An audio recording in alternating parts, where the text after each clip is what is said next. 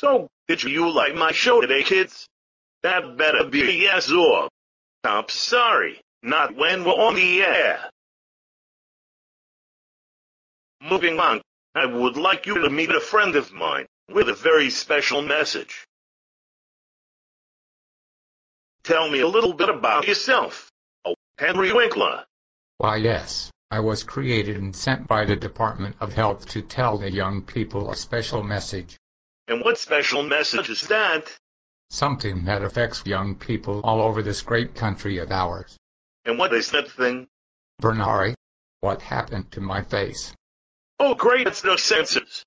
What did I tell you about having your parents in the room while you're watching the show? I told you they can't see the show because then they'll find out what we do. And I'll get canceled. My face I can't see anything.